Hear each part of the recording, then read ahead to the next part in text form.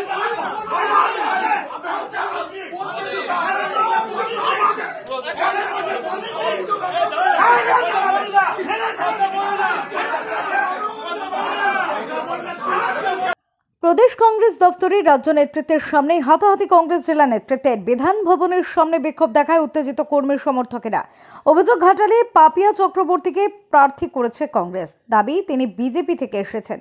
সেই অভিযোগ তুলে বিধান ভবনে বিক্ষোভ দেখায় ঘাটাল লোকসভার কংগ্রেস নেতাকর্মীরা। শ্যামল ঘোষকে প্রার্থী করার প্রস্তাব ছিল বলে দাবি, কংগ্রেস পর্যবেক্ষক গোলাম মীরের। কংগ্রেস দলটা সিপিএম এর কাছে বিক্রি করে দিয়েছে বলেও অভিযোগ বিক্ষোভকারীদের। কংগ্রেস সিপিএম এর কাছে সিট বেচেছে নেতারা। সিপিএম এর কাছে সিট বেচেছে। এইটা বলুন এটা বলুন। জেলাতে জেলাতে নিজের পয়সা খরচা করে সংসারের পয়সা না দিয়ে আমরা স্ট্রিট কর্নার করি। জেলায় জেলায় আমরা মাঠে ঘাটে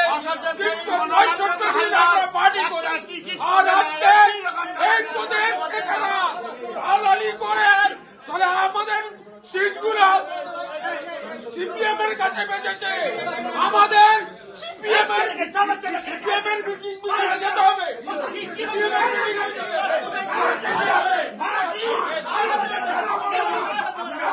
ব্যুরো রিপোর্ট, ওঙ্কার বাংলা।